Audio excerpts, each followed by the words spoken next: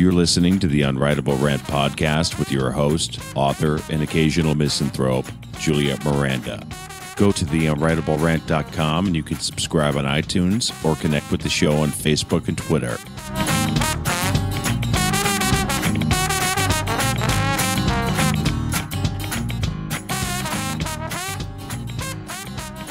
Hey there, y'all.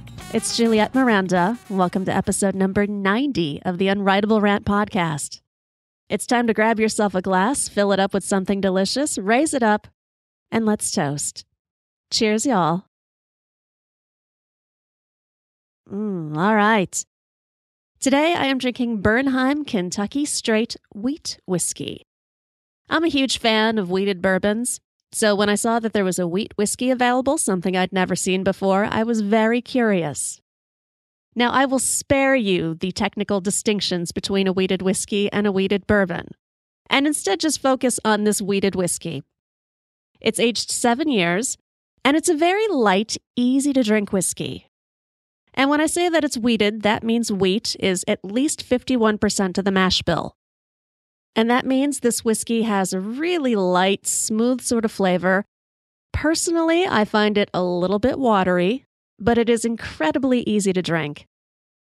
At 90 proof, it's got a little bit of a burn to it, which is kind of surprising at first, but once it mellows out, you're going to find a really nice balance of a woody, molasses, and a little bit of a citrus flavor here.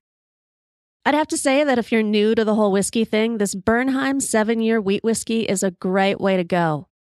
And if you want to tame it just a little bit, add a couple of drops of water. It doesn't need a full on ice cube or anything like that, just a little bit of water to open it up. And I think that kind of helps bring out some of the vanilla flavors to it.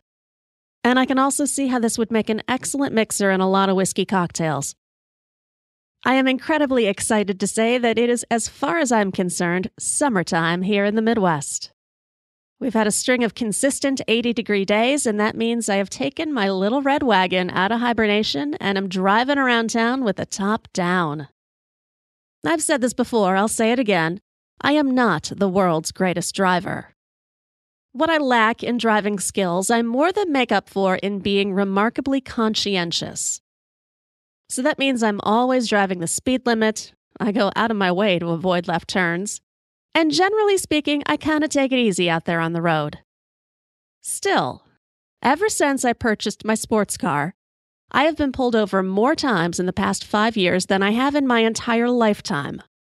Our local police officers just cannot resist a convertible out there in the sunshine. Just last week, in fact, I was out running errands, had the top down, and within 10 minutes of leaving my house, the next thing I know, I've got a pair of flashing red lights on my bumper. Now, I have no idea what this guy wanted with me because, as far as I knew, I was doing everything just right. So, of course, when you see those red lights flashing, your heart starts pounding a little bit. You get a little freaked out.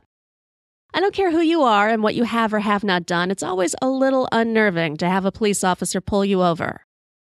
So I do everything just right. I turn on my blinkers, I pull over to a safe area, turn off my ignition, and put both hands on the steering wheel so that I look like a very good girl who did absolutely nothing wrong. Well, out of that police cruiser comes one heck of a burly looking guy. He's older, very no nonsense, and stalks on up to my car looking displeased. I immediately realize this is not a guy that I can flirt with. So I do my best to look as innocent as possible, which for me is a very difficult task because I'll tell y'all, I am always up to something. It's just a matter of trying to figure out what I'm getting caught for. He takes off his sunglasses and stares me down for a little bit and says those awful words Ma'am, do you know why I pulled you over today? And I've got to look at him all cute and sweet and say, Why, no, officer, I don't.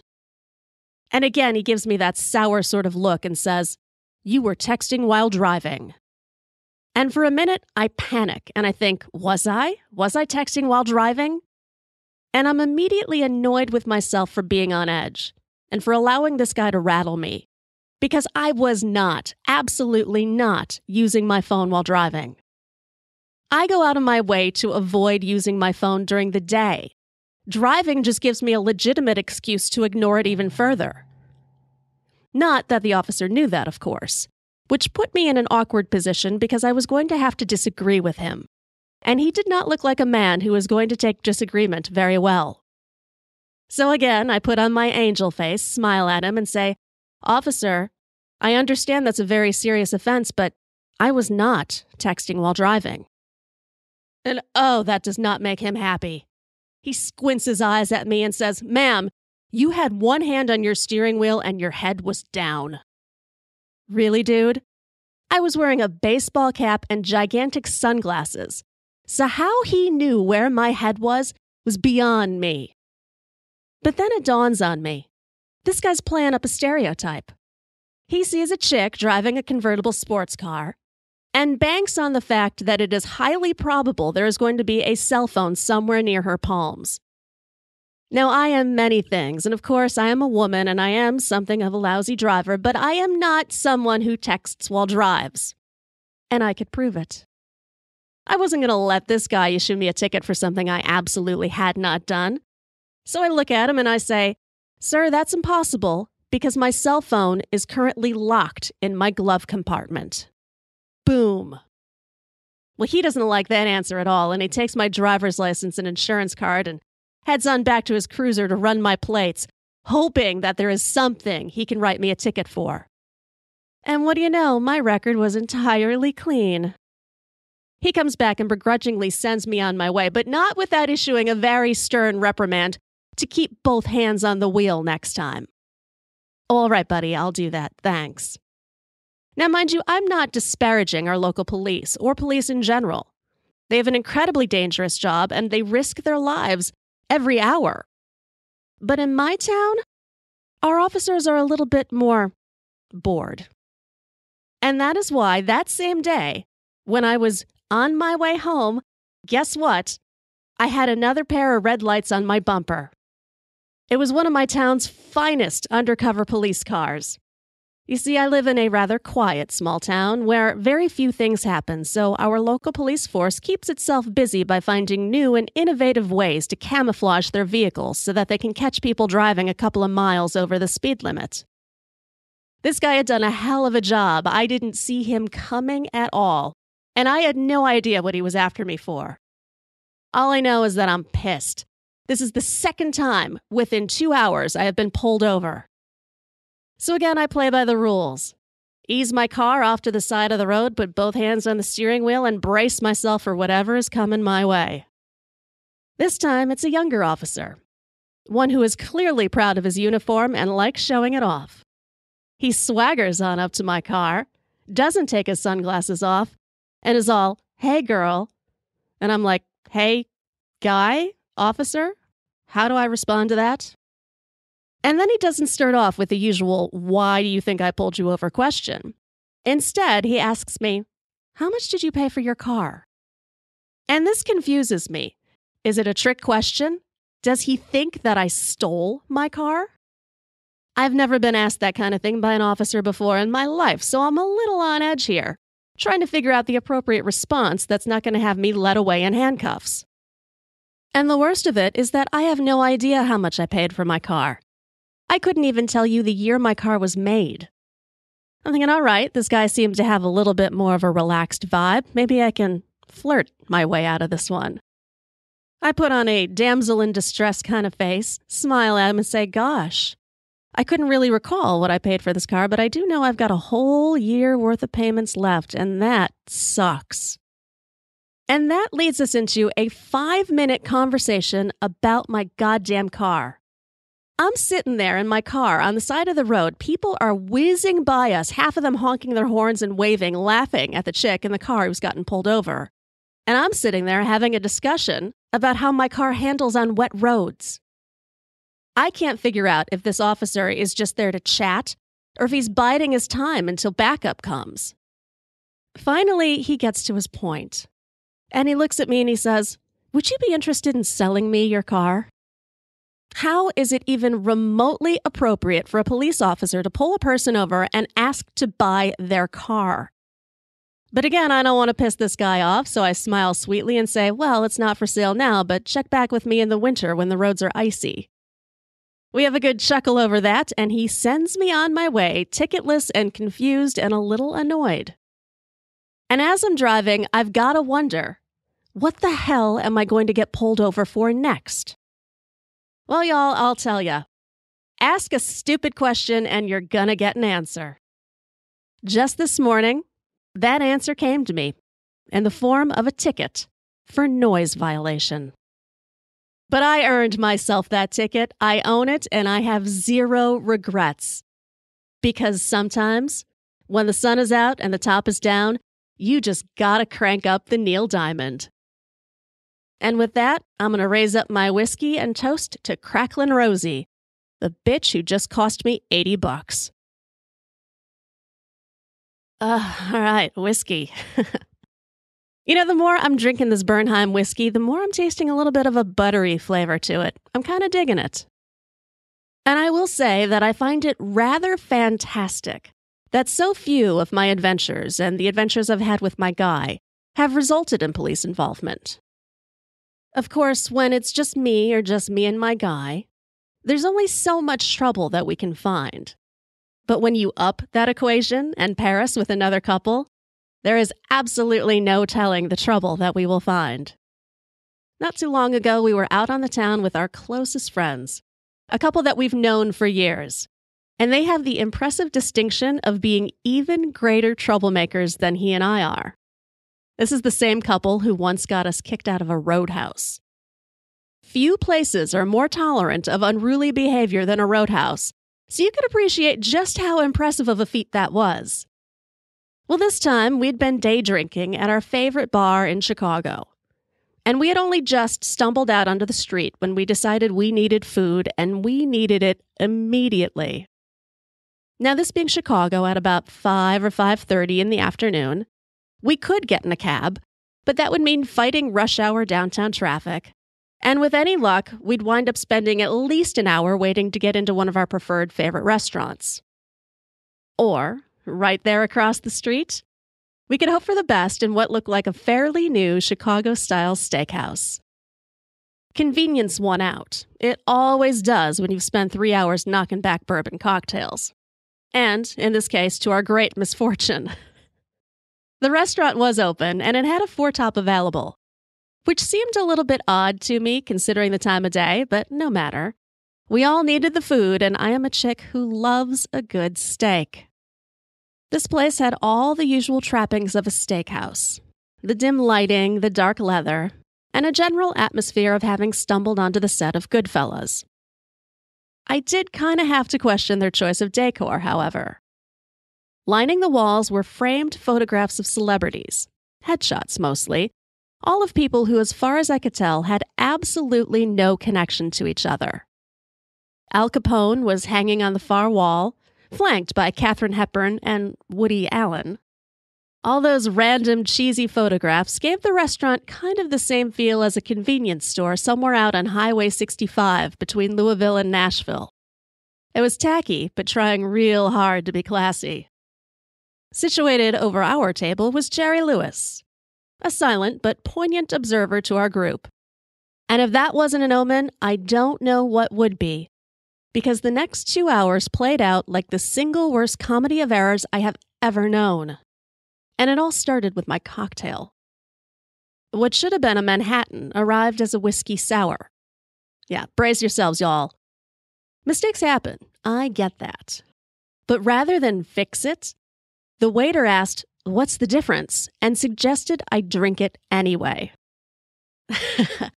My guy, our friends, and even Jerry Lewis on the wall knew that that was the absolute wrong thing to say to this bourbon gal. And for the next five minutes, I'll tell you, I schooled that waiter on exactly what the difference is between a whiskey sour and a Manhattan, and I suggested he commit that to memory, thus making it official who the Dean Martin of our group would be for that night. Well, by the time he returned with my Manhattan, I was officially one drink behind the group. Which, considering what happened next, was probably a good thing because I doubt that booze would have stayed put. Our appetizer had arrived a sizzling plate of beer battered shrimp. My guy was the first to grab a shrimp, but he did not bite into what he expected. We're watching him, and his hand is kind of shaking, and his face just goes white. He drops a piece of shrimp onto the plate while sucking back what I'm sure was a good gallon of half digested scotch from earlier in the day. What slithers out of that crispy beer breading is not a cooked shrimp. It is a raw shrimp, all gray and slimy and very clearly not deveined. The four of us, five if you count Jerry Lewis, recoil in horror. Had that thing oozed off the table like a slug, I would not have been surprised. And the waiter, alarmingly unconcerned about the breaded salmonella ball he'd just served us. He grabs the plate and disappears into the kitchen for a while with a mighty sigh as if we are so inconveniencing his evening. And he returned way too quickly. And by the obvious, suspiciously black color the food has taken on, I think it's safe to say that he delivered us the same appetizer, just run through the deep fryer again. Had we wanted to eat it, we would need to gnaw through a good inch of frizzled breading, which by this point more resembled a funeral pyre than anything edible. We wisely left that to molt on the table. It took an hour for our steaks to arrive. We spent the time plowing through several bottles of wine, which was the only booze we felt we had any control over. We even refused to allow the waiter to open the bottle. That's how much we distrusted this place by this point. And despite all of our drinking, I can't say any of us much felt like eating when our food finally did show up. We'd done enough complaining already and had gotten just disruptive enough to pretty much guarantee that at least one of our steaks had likely spent time connected to the bottom of the waiter's shoe. So all just kind of poking through the food on our table, jabbing at it with our knives and playing a rather loud game of Where's Waldo's Spit. My girlfriend is the first to decide that she has had it with this place. And she attempts to push her plate away from her, but finds that she cannot. The plate, it would seem, was somehow stuck to the tablecloth. Yeah, actually, that's not entirely accurate. The plate could be moved, but not without a whole lot of resistance, as if something is holding it up. So she grabs the plate, raises it over the table to look underneath it, and as she does, a large hunk of gristly raw meat that had been stuck to the bottom falls with a messy splat in the center of our table. That white tablecloth now looks like a large, overused bandage. It had soaked up the worst of the blood and was now emitting a smell somewhat akin to cat pee. The situation is so gross and so absolutely vile that the four or five of us just devolve into this wild mashup of laughter and drunken shouting. People are staring at us, other diners are getting thoroughly grossed out by the bloody smell coming from our table. And the waiter just shows up with his hands on his hips, going, What now? Well, my guy gestures to the decimated meat hunk on the table and says, If you were going to bring a steak for Jerry Lewis, the least you could have done is cooked it. The waiter did not get the joke, and neither did the manager, who likely didn't enjoy being summoned by our group when we started yelling, Hey, lady, in her general direction. And she actually had the gall to accuse us of making a scene. Sure, we'd had quite a bit of wine, but that did not excuse the fact that this meal was an absolute tragedy. We were nearly poisoned by a raw shrimp. Raw meat was falling from the bottoms of our plates. What was next? And that that's not even the worst of it. When we looked at our bill, we saw that not only were we charged for the wrong cocktail that I hadn't drank, we were charged twice for our appetizer. Well, you can imagine the ruckus that four kind of drunk, angry diners would make in a very small restaurant like that. And it took 10 minutes of volatile arguing and threats to call the local public health department before we got any sort of resolution, and it was a shitty one at that. The restaurant refused to take things off of our bill. Instead, they offered us free dessert and coupons for discounted appetizers on our next visit. Because clearly we didn't get enough E. coli on this trip. Well, the manager and the waiter leave us to figure out what we're going to do about this bill, and we're sitting at the table and we've thrown a wad of cash on the table and even a 20% tip. because we may be incorrigible and we may be drunks, but we are not jackasses. But we didn't feel good about it.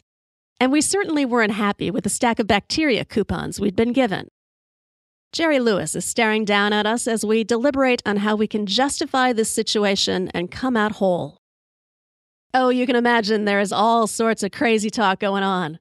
We're thinking about stealing salt and pepper shakers, plugging up the toilets, starting fires, ransacking the hostess stand for all their complimentary mints, which is the one and only thing we felt safe eating there. But we didn't want to get arrested. That wasn't how we wanted our night to end. So I look up and whimsically say, What would Jerry Lewis do? Leave it to my guy to figure out exactly what Jerry Lewis would do. He didn't say a word. My guy just wrenches the photo of Jerry Lewis off the wall where it had been bolted. He tucks it under his arm like a good companion and leads the rest of us out of the restaurant. The man had eaten with us, and he was going home with us. Now, I don't know if that's exactly what Jerry Lewis would have done, but I am fairly confident he would have approved. And with that, I'm going to have a little bit more whiskey, y'all. Hang on. Ah, there's my whiskey. And that means it's time for me to wrap things up with y'all today. Before I do, I just want to remind y'all to head on over to theunwritablerant.com and check out all of the great things I've got going on right now, including a comic book that I am starring in called Kindred Homecomings. And one more thing before I go, I just want to send a huge thank you to all of you for listening and to my Podern Family podcast friends. Y'all are a bunch of maniacs. I'm looking at you, Bad Cop, Bad Cop, Robin Slim, Naked Porch Podcast. If y'all need some great listening, I highly suggest you check them out or check out any of the podcasts in the Podern Family group on Twitter. As for me, I'm going to suck down a little bit more whiskey and head on outside and work on my tan. Hope you have a great week, all. Cheers. Go to theunwritablerant.com and sign up to get early access to interviews and new videos.